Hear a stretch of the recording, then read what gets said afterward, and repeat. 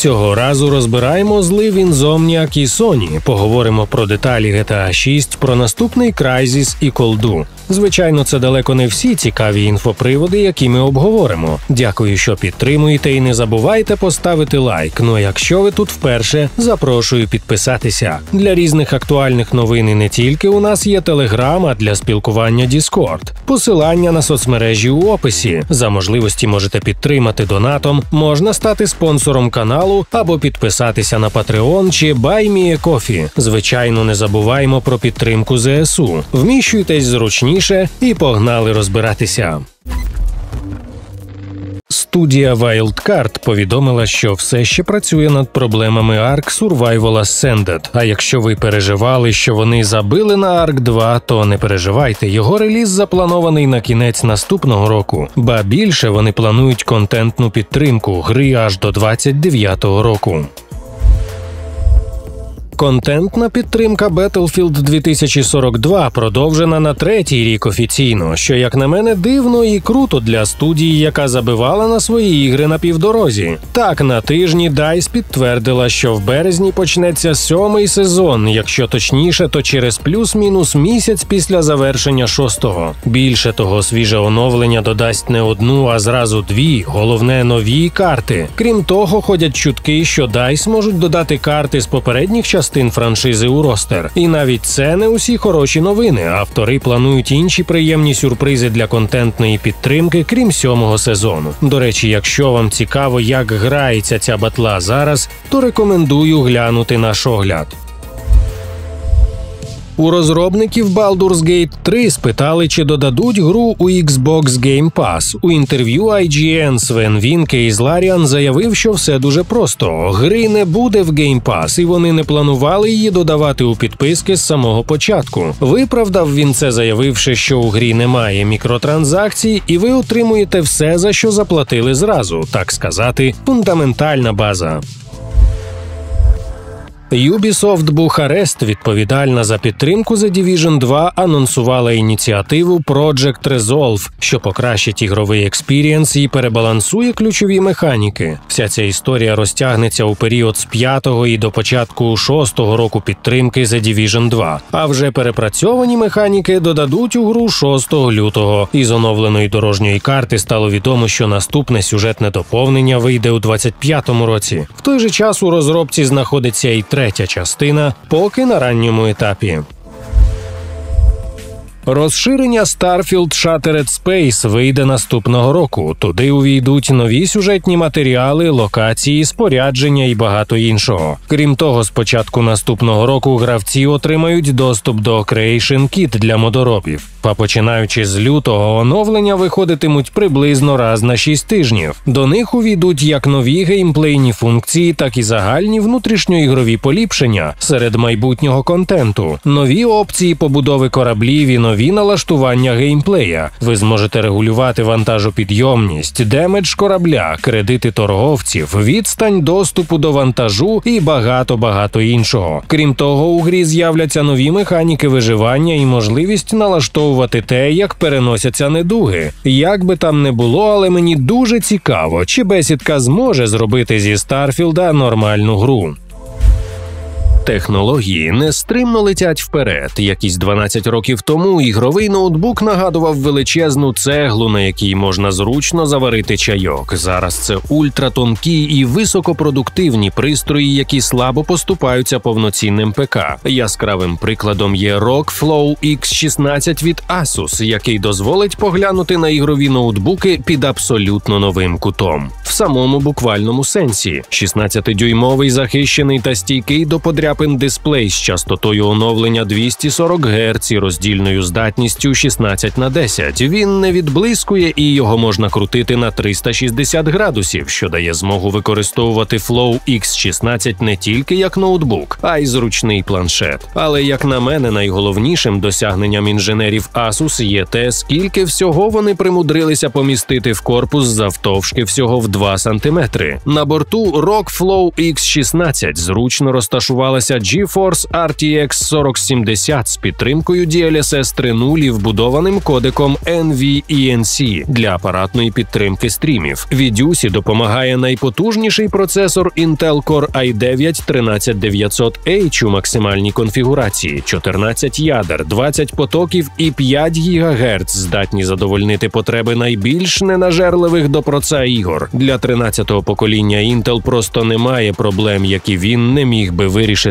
Крім того, на борту вас чекає ультрасучасний M2 SSD на 2 терабайти, і все це важить лише 2 кілограми. У корпус також вмістилися абсолютно всі необхідні порти від стандартних USB Type-A та C і навіть до Thunderbolt 4 і HDMI 2.1. Мало підключіть док-станцію ROG XG Mobile, яка не тільки дасть додаткові порти, а й поліпшить графічну потужність вашого ROG Flow X16. Уся ця технологічна розкіш охолоджується комплексною системою ROG Intelligent Cooling з трьома вентиляторами, які можна відключати, протяжним радіатором і термоінтерфейсом із рідкого металу, що ефективно і тихо охолоджує ноут. Купити один із флагманів ультрасучасних ігрових ноутбуків можна за посиланням в описі. Співзасновник Obsidian Кріс Авелон говорить, що вони пропонували Bethesda розробити кілька ігор серії Fallout і The Elder Scrolls після релізу Fallout New Vegas. По суті, говорить Кріс, це такий же підхід, який використовувався авторами колди, тобто бесідка робила б основні ігри серії TES, а Obsidian працювали б над спін-оффом чи грою іншій епосі, але їх тупо проігнорили через те, що Bethesda була не дуже задоволена New Vegas. Зараз шанси, що Obsidian візьметься за нову гру у всесвіті Тест чи Fallout, досить великі, бо Obsidian і Bethesda належать Microsoft. Керівник DC Studios Джеймс Ган відповів у коментарі фанату, що екшен Suicide Squad Kill the Justice League – це точно не остання гра у всесвіті Аркхем. На жаль, він потім видалив відповідь. Суть у тому, що публіка спитала, чи наступні ігри будуть зв'язані виключно з Suicide Squad, чи все ж таки розробники зможуть використовувати власні всесвіти. Він лаконічно відповів, що обожнює студію Rocksteady і сподіваються, що вони далі будуть випускати ігри серії Аркхем. Я особисто сподіваюся, що у них у рукаві є якась гра типу умовного Бетмен Аркхем чи, можливо, гра про супермена. Також днями Rocksteady закликала фанатів остерігатися сюжетних спойлерів Suicide Squad. Звернення зв'язано з низкою витоків, що розкривають деталі історії та персонажів. Минулого разу ми розповідали, що Naughty Dog офіційно закрила The Last of Us Online. Вони вирішили сконцентруватися на сюжетних тайтлах, але деякі розробники все ж таки не дуже задоволені таким рішенням керівництва студії. Техдизайнер Натаніель Фергюсон написав, що ця гра була головною у його кар'єрі, хоча він вірить, що попереду їх чекають нові і не менш амбіційні ігри. Інший розробник геймдизайнер Карл Морлі додав, що гра мала стати крутим мультиплеєрним проектом на голову вище ніж будь-який інший, у який він грав. Там було ще кілька подібних коментарів, тому подібний позитив навколо проекту наштовхує на питання, чому його взагалі скасували. Відповідь проста: Naughty Dog просто перевантажена. Гра виявилася занадто амбітною і, ймовірно, забрала б усі ресурси студії на підтримку. Том Хендерсон висловив свою думку з приводу скасування тлоу онлайн. Ноті Дог не найняла більше співробітників, щоб впоратися з додатковим навантаженням. Цитата. Економіка базового рівня. Якби вся студія працювала над онлайном, це 400 працівників. Середня зарплата становить 50 тисяч. Це 20 мільйонів доларів у рік тільки на зарплату. Чи продадуть вони 250 тисяч батлпасів щокварталу по 20 доларів за штуку протягом декількох років, щоб покрити ці базові витрати? Я дуже сумніваюся в цьому, і вони, мабуть, теж. У цьому сенсі, як би кому не було прикро, можна зрозуміти, чому студія вирішила висмикнути вилку з розетки і переключитися на сюжетні ігри. Не так давно вийшов мобільний порт GTA The Trilogy з функціями, які загадковим чином зникли з версій для консолі та ПК. Більше того, Rockstar не написали повний список змін, згадавши лише, що порт має додаткові покращення, включаючи новий режим класичного освітлення, який повертає вигляд оригінальних ігор. Найбільш помітно це у Сан Андреас, де було повернуто впізнаваний помаранчевий відтінок оригіналу. Як зазначає Котаку, на GTA Forums повно повідомлень від фанатів, які помітили інші зміни, такі як покращені ефекти руйнування, виправлення помилок у рекламних вивісках, моделях персонажів, деталей оточення, реквізиту та багато іншого. Однак Rockstar не перенесла ці покращення у все ще криві версії для ПК та консолей. Ось чому дивно бачити, що мобільні порти, які можна придбати лише через Netflix, фактично стали найкращими версіями цієї прекрасної трилогії. Виявилося, що студія Arkane Lyon використовує Void Engine, в якому також використовують технології id у розробці нової гри Marvel's Blade. Arkane Austin використовувала для Prey і Redfall Unreal Engine 4. Нагадаю, що саме на цьому фундаменті створені Deathloop і Dishonored 2, а також Death of the Outsider. Студія Sony Bend, відома за Days Gone спільно з Naughty Dog, деякий час працювали над новим неназваним тайтлом. Цю інфу знайшли на сторінці старшого геймплейного аніматора в LinkedIn Адама Лоусона, який згодом перейшов до студії Archetype. Багато хто сподівається, що бенд працювала чи працюватиме над перезапуском Days Gone 2 або новою Siphon Filter, але з плином часу це здається маловірогідним. Натомість найбільш вірогідним сценарієм виглядає спільна кооперація для розробки або закритої The Last of Us Online чи нової Uncharted. Про це ще раніше писав Джейсон Шрайер з Bloomberg. І якщо ви чомусь мали сумніви, то зі зливу документів Sony стало відомо, що студія Sony Band працювала над Days Gone 2 і новою Uncharted. Зараз ці ігри, на жаль, відмінені.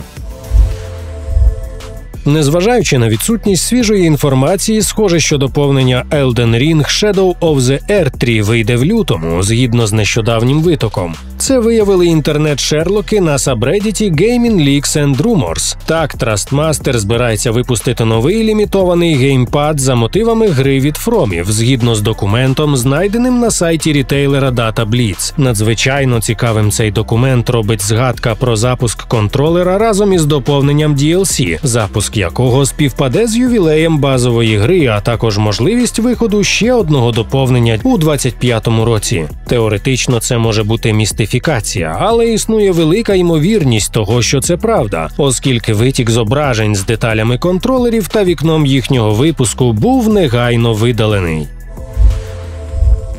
Ubisoft теж зламали. У них вкрали 900 гігабайт різної інформації. Зловмисники пробули в мережі Юбіків аж 48 годин, допоки їх не помітили. Ubisoft поки нічого не коментувала, крім того, що відбувся злом. Але за них це зробив Том Хендерсон. Так вкрадені дані стосувались лише Rainbow Six Siege, та й загалом витік, судячи зі всього, не співставний з Insomniac.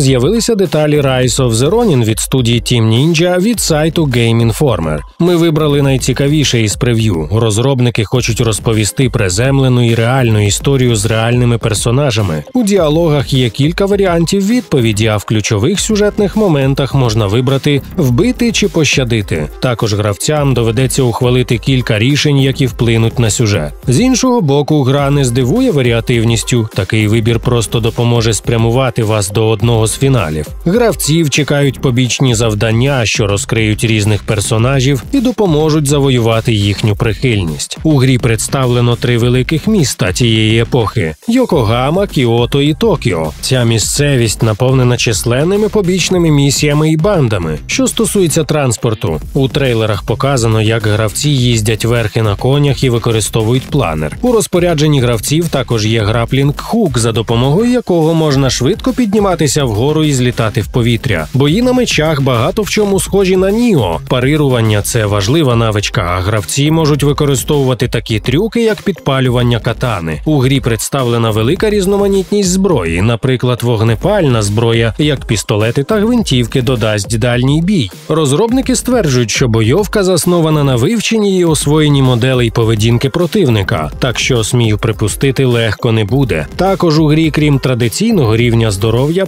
присутня система карми, і, хоча подробиць немає, можна припустити, що це якийсь аналог смертей у стилі Dark Souls. Нагадаю, реліз запланований 22 березня.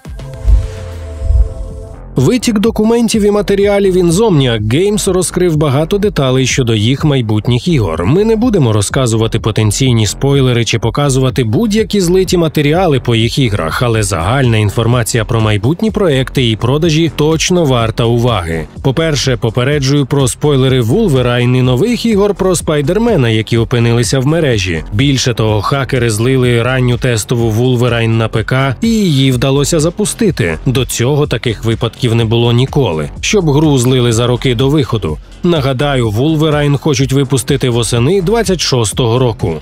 Так, ПК-версія Spider-Man 2 вийде у період з квітня 24 по березень 25 року, а розробка гри коштувала 4,6 мільйона доларів і завершиться у 24-му фінроці. Але в той же час це інфа річної давності, тому плани могли змінитися. Spider-Man 3 також очевидно вийде на компах і портування почнеться у 26-му фінроці. А це означає, що реліз станеться не раніше 28-го року, і ціна переносу буде 7 мільйонів. Перенести Wolverine буде коштувати 4 мільйони. До всього іншого Insomniac планує випустити для Spidey аж три безкоштовні доповнення наступного року. Перше називається Beetle Infestation і вийде з січня по березень. Друге Extreme Carnage планується з квітня по червень, а третє Spider-Verse Anomaly з'явиться восени. У них гра отримує багато нового і досить непоганого контенту. Також восени вийде Game of the Year видання. Туди увійде гра і всі DLC. А тепер поговоримо про найближчі релізи. Судячи із витоку, Insomniac першим ділом випустить спін-офф Marvel's Venom. Гра буде представляти собою щось типу Майлз Моралес. Сюжет розгортається після подій другої частини і плавно доведе історію до триквела. При цьому проходження займе до 10 годин. Із документів відомо, що реліз було заплановано на осінь 25-го, і продаватиметься спін-офф трохи дешевше за 50 баксів. Ще один цікавий факт це те, що Insomniac планувала якось невідомого хріну випустити третю частину не по-нормальному, а розділити її на дві частини. Перша частина Spider-Man 3, як відомо, повинна була релізнутися наприкінці 27-го року за 50 доларів. А щоб гравцям не було прикро за обрубок від гри, студія планувала зробити мультиплеєрний режим. Та сама історія була б із другою частиною, тільки реліз би відбувся під кінець 28-го року. Найсмішніше тут те, що для тих, хто хотів би все в одному, вийшло б окреме видання. Комплект вже коштував би 60 баксів і планувався до релізу в кінці 29-го року. Чи змінилися плани включно з цінами з того часу, наразі невідомо. Щодо мультиплеєру. Insomniac згідно з витоком планувала гру у всесвіті Spider-Man, яка носила назву The Great Web. Але мені здається, що після хвилі відмін сервісок після відходу Джима Райана на цю гру також успішно забили, бо більше ні у яких документах вона не згадується. Крім того, що я вже розказав, розробники також створюють кілька інших ігор. Нову Ratchet Clank, не дивлячись на фінансовий провал останньої, вони планували на осінь 29-го року. На 2030 рік в планах у студії випустити Marvel's X-Men, При цьому у Sony тепер ексклюзивні права на ігри по X-менах аж до кінця 2035 року. Тобто ніхто, крім Sony, не зможе використовувати цей бренд. Ну і плюс до всього на слайді є згадка про гру за новим IP, що планувалася до релізу в 31-32 роках. Ясне діло, що усі ці дати абстрактні і були опубліковані для інвесторів, тому все звичайно не просто може змінитися. Я впевнений, що після витоку вони змінять багато з цих термінів. Insomniac Games нарешті дала офіційний коментар щодо зливу. Розробники дякують гравцям за підтримку і додали, що дуже обурені атакою, і це був не дуже приємний досвід. В даний момент студія не працює. Вони цитата сфокусувалися на підтримці один одного. Студія все ще не розібралася, яким чином дані попали до рук хакерів і вивчають матеріали, які вони вкрали, так як там є особисті дані співробітників. Щодо Wolverine, ранній build якої злили, то прямо в цей момент гра на ранній стадії створення. Як би там не було, виробництво гри йде стабільно, і її вигляд, очевидно, зміниться у процесі розробки, так як злиті були мега ранні матеріали, але Insomniac поки не готові поділитися точним вікном релізу і деталями. Коротше, сам злив, судячи з усього, не дуже вплинув на розробку, якщо судити із цих заяв. А тепер про фінанси Sony.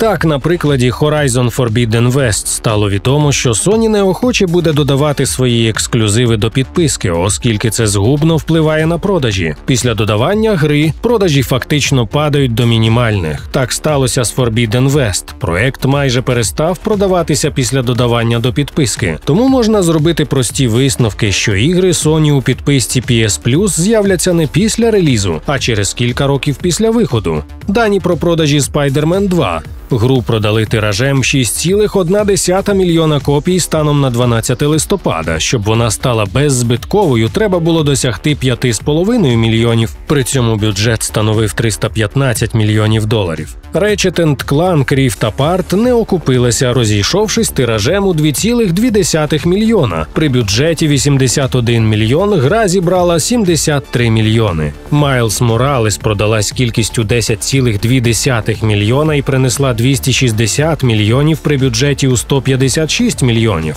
Також окупився і ремастер першого Spider-Man. Бюджет 39 мільйонів, а продажі принесли 50 мільйонів. Horizon Forbidden West Complete Edition вийде на ПК наступною. Загалом зараз PlayStation Studios дуже сильно взялися за ПК-порти. І тепер, щоб студія отримала фінансування на перенос гри при умові, якщо порт буде коштувати менше 30 мільйонів, студії достатньо отримати схвалення по електронній пошті. Витік даних Insomniac також розкриває цифри продажів Sackboy A Big Adventure, ще однієї гри новинки для PS5, яка розійшлася накладом понад півтора мільйони примірників по всьому світу, з яких понад 1,2 мільйона були продані. Ідемо далі. У витоку є дані про продажі ігор PS Studios на ПК. Правда, тільки в Steam по лютий 23-го року. Отже, Horizon Zero Dawn продалася найкраще тиражем 3,3 мільйона копій, бо вийшла раніше всіх і була на різних знижках. А порт God of War досягнув 2,5 мільйонів копій.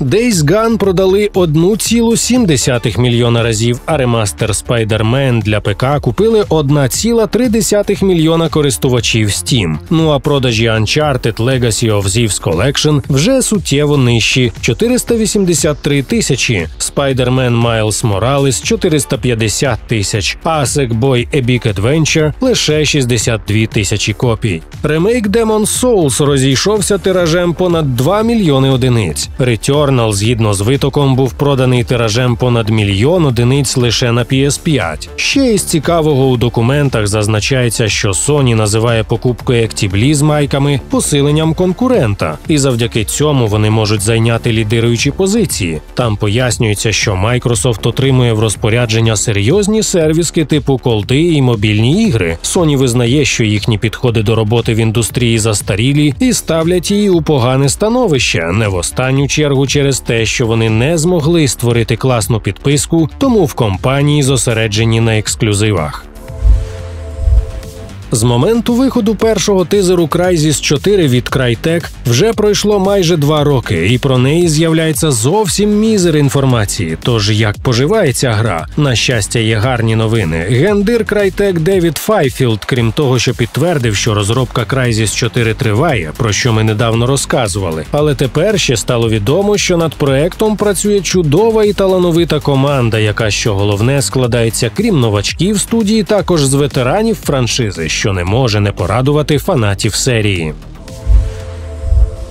Події нової Call of Duty 2025 року розгорнуться після подій Black Ops 2. Наразі гра відома під кодовою назвою Сатурн. Том Хендерсон дізнався з кількох джерел, що вона перенесе гравців у недалеке майбутнє. Нагадаю, що сеттингу майбутнього не було з часів четвертого блопса. Так, колда 2025 наразі розробляється як пряме продовження Black Ops 2, події якого відбуватимуться через 5 років приблизно у 2030 році.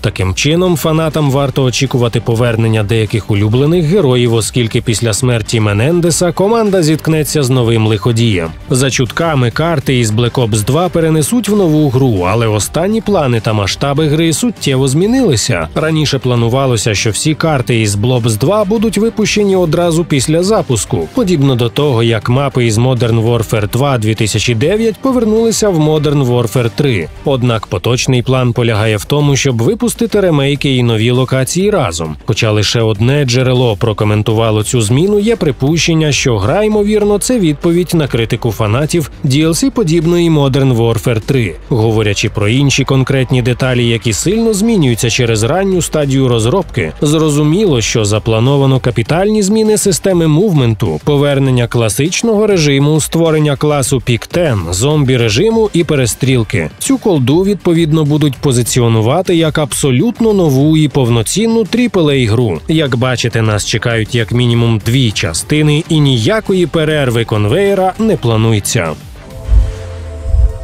Я часом офігіваю від фанатів GTA 6. Це доходить до якоїсь шизи. Так цього разу фанати розібрали постер GTA 6 і виявили дату релізу другого трейлера GTA 6. Як вони це зробили, спитайте? Один з гравців переклав сліди від куль на постері у шрифт Брайля і отримав числа 1, 9 та слово мо. На його думку, це може вказувати, що нові подробиці з'являться у вересні наступного року. І знаєте, все може бути. Тим не менш, з'явились ще деякі подробиці інформації від працівника лондонського підрозділу Rockstar, який підтвердив своє місце роботи модераторам Reddit, що підтвердило достовірність інфи. Правда, через можливі проблеми з NDA оригінальний пост був видалений, але його продублювали. Отже, гравців очікує величезна ігрова мапа з двома-трьома містами, що раніше підтверджував друг сина керівника розробки. При цьому автор зливу говорить, що бачив карту. Вона реально виглядала величезною з містами і селищами. При цьому цьому там було ще дві-три великі групи доріг. Він також говорить, що бачив кілька артів, на яких Люсія і Джейсон стояли поруч. У хлопця була надіта чорна бандана, і він погрожує продавцю пістолетом. В той же час на постері Люсі у червоній бандані з пістолетом наповнювала сумку алкоголем біля каси. У пості також він розповів, що бачив рекламні матеріали чи трейлер, точніше його останній кадр з конкретнішою датою виходу гри. Так на ньому було лише лого GTA, GTA без шістки з написом Вересень 2025 знизу. Хоч з цим варто ознайомитися, але подібну інформацію варто сприймати скептично, на чому я завжди наголошую. Залишається лише нескінченно чекати офіційних деталей. Напишіть, що думаєте про це все. Також будемо раді бачити вас у нас у Діскорді і Телеграмі, де ви знайдете актуальні ігрові новини. А якщо ви ще не підписались на канал і не поставили лайк, то зробіть це зараз. До зустрічі на XGTV. Дивіться і грайте разом з нами.